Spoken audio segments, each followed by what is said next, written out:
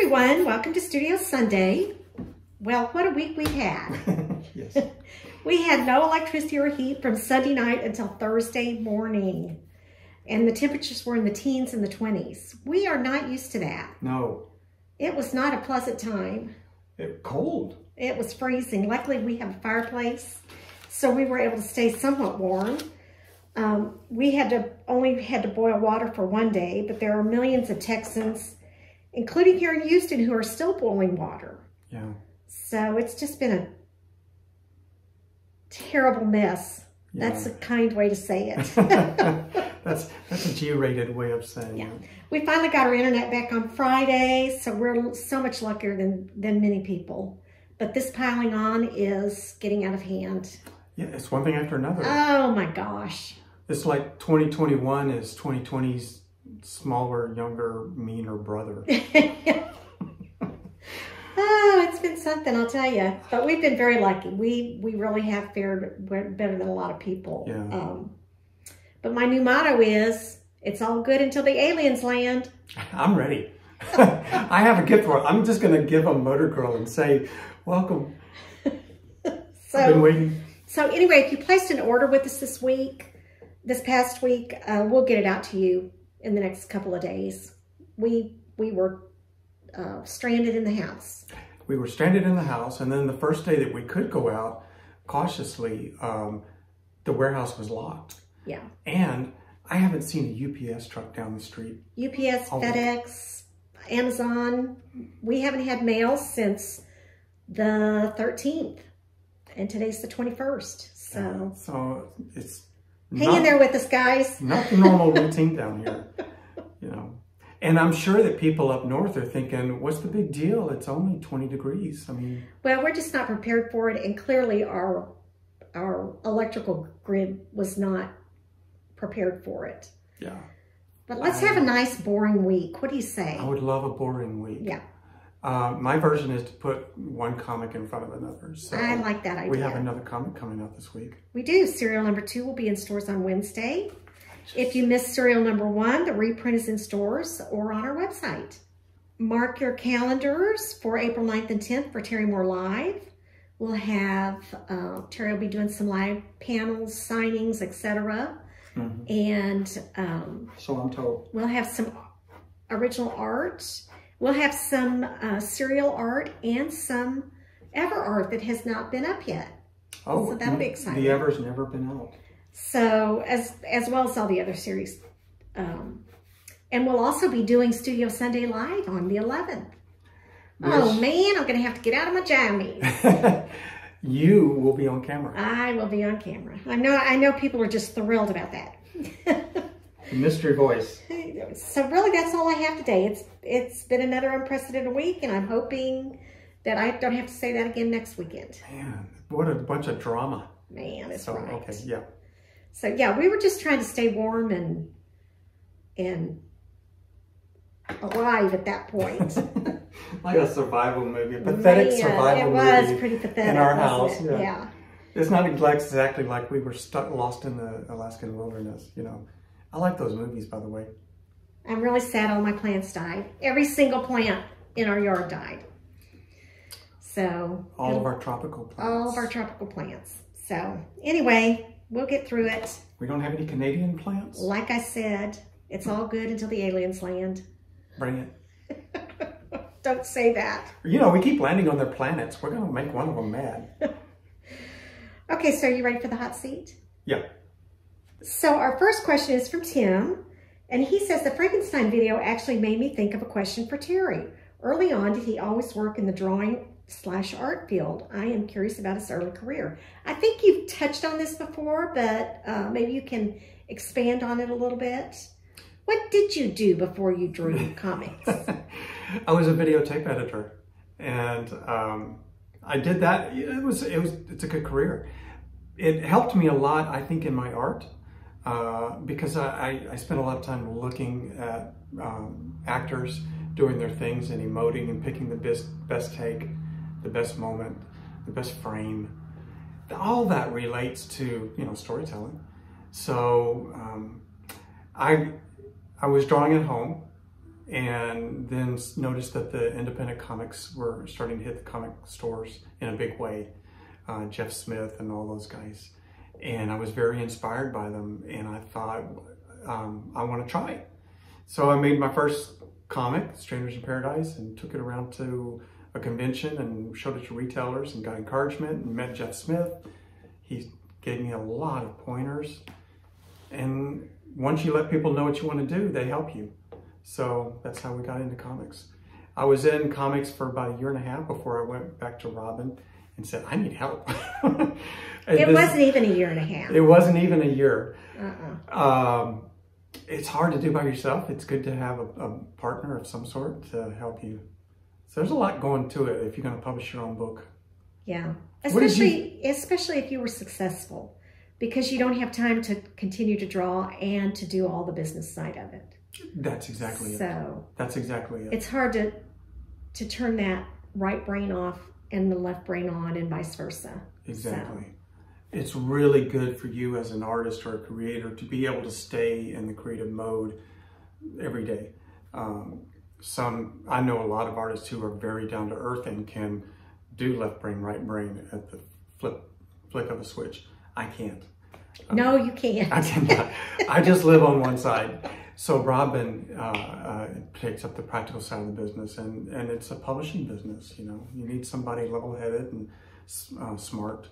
Um, otherwise, Well, and I think that's why there aren't as many independent creators anymore because it does, it is, uh, there's a whole side to it that takes really a full team to keep things moving forward. And it didn't, it wasn't quite that way when you first started. It just it grew. I really don't even know what Robyn does. The stuff that she has going on with business and talking to people, she has a whole other world of contacts, business contacts who are comic book related. Um, the distributors, the the man who oversees the all the trucking and the shipping out of the printer plant and then the diamond plants and all that. I don't know. Uh, If if Robyn stopped, I stopped. I'd have to Hey, go work let me tell you, I'm going to stop soon. I'd be knocking on Frank Cho's door. Do you need a, do you need an assistant? So yeah, it's it's a business. So so you were a videotape editor, hmm and I will. Um, I'll tell you a little story that started all that. Was our son was about five or six, and he was learning how to read, and he was very unhappy about it. He did not like to read the books that they were giving them. And Terry said, "I'm going to take him to the comic book shop and see if there's anything there that he might be interested in, like Donald Duck or whatever." Saturday morning cartoon shows. Right. And when you went and took him, that's when you saw these indie comics. Exactly. And there was kind of an indie comic um, surge at that time. Yeah. There were several independent comic book artists. And you came home and said, I think I can do this. And I said, take out the garbage. What's wrong with you? have you ever have you ever in your life just looked at something or watched somebody do something and you think, I think I can do that. I think you know that's for me. That was it. And Terry's pretty introverted, and he he um, drew up the first issue of Strangers in Paradise, and then he went off one afternoon. And when he came back, he said he'd been at a local comic book shop that was in a hotel, and he had passed this stuff around. And I was super impressed that he would Hmm. make that leap. At, at a show, a little comic book show in the hotel, and you know everybody's in one room, and I just went from booth to booth and showed it. And you met a a um, DC editor there, and she said, "You're the real thing. Go for it." I'm, I met Patty Jeres at DC. She was there with Jon Bogdanove, and he was currently the Superman artist. And I showed, I got in line, showed them the stuff, and John said, "It looks pretty good. You need to work on your knees." oh! Patty said, uh, uh, "Nice storytelling flow." She didn't read it. She's just going page to page and seeing the flow of the visual storytelling. And she took me over to the booth and introduced me to uh, the editors there. And I met three or four editors, junior editors, and then at the end of the line was Archie Goodwin. And I got to talk to Archie, and he said, "Well, we could put you on some team books you know, put you like short stories in the back of an anthology or team books, get you started. And I, went home uh, feeling on top of the world. And the famous true story is that when I went home with that success story, my first encouragement, um, that day or the next day was a rejection letter from DC in the mail when I had mailed the stuff to the front office in New York. And it didn't get past the front office in New York, came right back. But when I went in person uh, and let them know I'm real, you know, it went a lot better.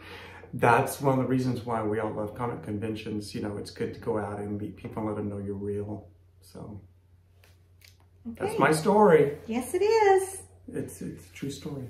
Okay, so um, our second question is from Tony. Hi, Tony.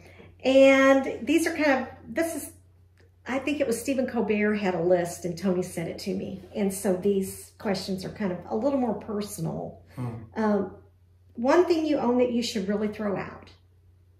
Oh, let me, let me just get started Don't get here. her started. Everything. Oh, I can see 10 things right now. One thing that I own I should throw out is, um, I don't know. He would not throw it's away anything, precious. yes. It's, it's every bit of it's precious. Uh, probably what I should throw out is some of the really um, old books that are silly. Um, you know, that I don't know why I keep them. I don't read them anymore.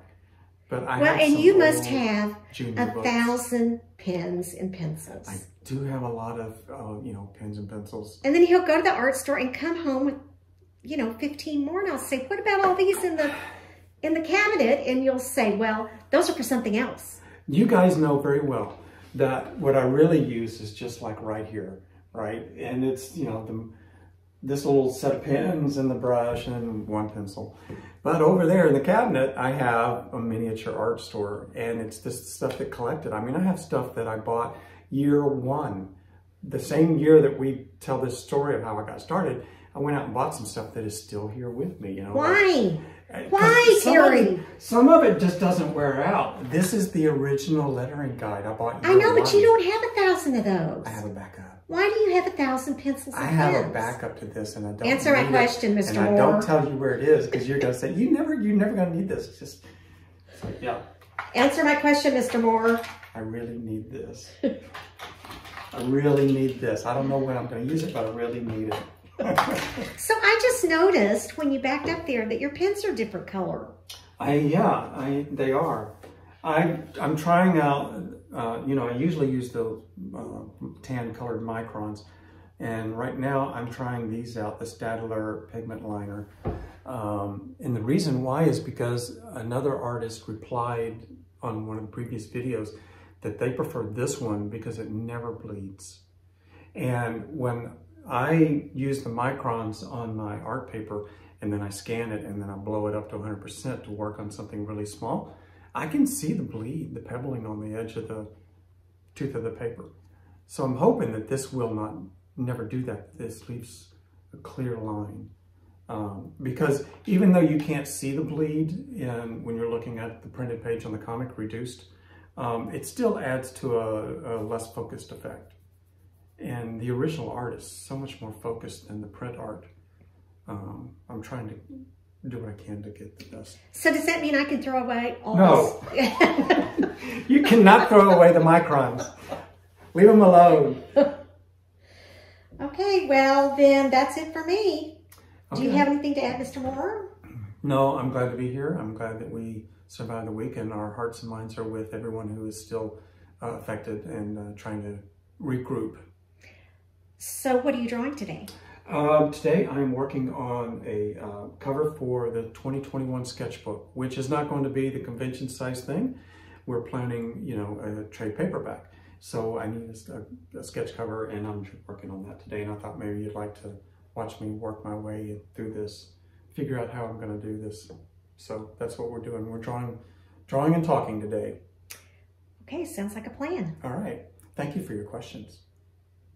Don't thank me. Thank Tony and Tim. Thank you, Tony and Tim. okay, I'll see you guys next week. Meet Terry right back here. Okay, meet me here. Okay, so I have my page ready. Here is my target area. And the sketch I want to do um, is this one. And this is a printout from my computer. Um, obviously, for the cover of a book, she's not going to be topless. So don't worry about that. Uh, but in the art studio, there's clothes come and go. um, so I've been working on redrawing this uh, for this cover for the final art. And I worked out, you know, I, I try ideas, you know, on top of each other and and I tried making a gap on the computer to get some more distance there because I thought, you know, that's a little squeezed. And if you think about it, um, that's okay. But that actually works a little better for me. So on the computer, I put the gap there. Why would I bother doing that? Because it's so easy on the computer to look at changes real fast and see what you're going to do as opposed to spend um, a lot of time redrawing that, erase it, redraw it a little higher, erase it, redraw it, you know, you know what I mean? That's how people did it in 1901. So, um, what I'm going to do is, in, to prevent using a 1901 tactic, I am going to lightbox my own art and transfer it to this, which is trickier than it sounds because when you get the lightbox, these lines get fatter and blurrier and um, you don't have the accuracy that you might think you do. So what you're, all you can really accomplish on a lightbox is to get it in place and get the basic form on there.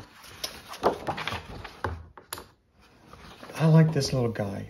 It's, uh, what is that, 11 by 14 or something like that. It's not that huge thing on the floor, um, but it's very cool. Okay, I'll show you here how I do this. If I get this in position and then put this here, there's nothing to tape it down. So what I do, use my white tape, which is supposed to be forgiving on paper. And I just kind of get this positioned and right now what I'm looking at is vertical. Is Francine in the vertical position? choose chair? Yes. The answer is yes. So I'm going to put the tape on the top and the bottom. And this is hold it down. And then I put two other tapes upside down on this corner. Terry, what are you doing? What the heck? What the heck and gosh? Ta-da! You see where I'm going with this. Holding up the edges so that I can move it, I'm now getting the art exactly where I want it on the page. This is saving me so much draw, redraw, erase, redraw. And then in a second, I'm going to tell you why I picked where I picked. Okay. Ta-da! We're on. Okay, um, what I'm thinking about when I lay it on the page is that the title goes up here. This is going to say my name, whatever it is that day, and 2021 sketchbook up here. There's the title of the comic. Here's the logo, and here's the price. So I can I know that that's right there, which leaves this part from here on up is what shows on comic books rack. So when it gets to the comic book store, uh, if they if they rack it in the racks, which they won't on a trade, but you know that you're probably going to see about that much of your comic in a, on the wall in a comic shop. So you want something right there. If there's nothing there, all you have is the title. In this layout, you would at least have Francine looking out at us over the rack. But also, uh, right about here, is the phi point on this triangle, this rectangle, I'm sorry. So there's a phi point right here and right here. That's about where they are. And you'll notice that that's exactly where Katchoo's eyes are. So the first thing you're going to see when you look at this layout is Francine looking back at you, and then your eye is going to follow. Well, you probably will look at her first, but then you will easily find Katchoo's face because it's at a phi point and the phi points are probably about right in there. So the middle of her face is right there at the this distance right here is, you know, like uh, 0.618 of the over, oh, this is actually this side, 0.618 routine. Okay, so um, now what I'm going to do is um, I'm going, see how blurry this is? It's like drawing a ghost, but you can tell where the main figure is. So there's still some uh, ability required to correctly and, and transfer this and uh, then fix it on the real page because you're going to have to fix this drawing. Um, the line weights are no good anymore. Uh, it's going to be hard to see the things like the eyes and the details on the face. So these things can get really messed up in a lightbox transfer, and you're going to have to um, use your artistic ability to repair this transfer. So what you do is you spend about five or 10 minutes transferring it with, on a, with pencil, and then you spend the next hour fixing the transfer, and that's when you get back to drawing again. But at least you're drawing on, on placements that are in the right place. At least you know you're not wasting your time drawing Katchoo an inch and a half low and then decide, oh crap, I need to place place her higher. That kind of thing. Um, and I probably will move the circle up a little bit and let it be underneath the logo, just so the circle is favoring the top half of the page. That's it. If I have the circle at the middle point, it's going to look low. It actually wants to favor on where your eye focus is. So the circle is actually kind of like your, your eye focus on what I care about is all up here. And this down here is just foundation. Okay, so now it's time to do the transfer and I'm just going to rough in the outlines, uh, the main marking points there. And as I look at the drawing the top of the hair, I'm, I'm thinking about where the top of the skull actually is and allowing for uh, thick hair to be on top of that. So that hairline is not the skull line, it's uh, an inch or so above the skull. You have to know that. This uh, pose that we're in, both of them have their heads turned in a uh, way that, you know, it could easily look like it's uncomfortable. So you really have to be careful between just uh, someone simply turning their head versus uh, I pull, I turn their head around too much in the drawing and it looks unnatural. Um, so, and I'm fixing a lot of things here. I know that I'm going to add uh, this Victorian looking clothing hanging off her waist. Um, and then I'm going after the uh, Katchoo pose. What, the same thing with her head turn. It's I'm going to back off a little bit on that. You see how I move the ear forward a little bit? Uh, less of a turn on the head so it doesn't look like we're unnatural. Um, I need to make sure they have different hair lengths. I don't keep drawing the same hair. And same thing here, I'm going to make her waist a little longer and her legs a little longer than is in the sketch. So you can see me draw past the foot and do a longer um, leg, uh, you know, calf line there. I just feel like it's more in proportion. Sometimes I draw proportions are off in the original sketch, and then I'll the next sketch will be I'll try it longer, and uh, it, it usually ends up looking better. I'm going to have Katchoo finger painting a smiley face here. Uh, that's her great art. And now I need to decide where does the circle go? So I found a top and a bottom I like, measured out the middle, and that's where I'll put my uh, compass. So there is the finished um, uh, transfer, and you can see how rough it is, but it really gives me the structure that I need to draw on top of. And uh, you can see from the original sketch that uh, where I'm going to be headed with this idea, you know, of course this will have um, the old-fashioned blouse underneath there. Um, but I'll be at least this tight and a lot tighter actually since it will be for a cover and I'm going to try a lot harder to make, you know, the drawing look gorgeous. And we'll see where I end up. Uh, check with us next week to see how it turned out.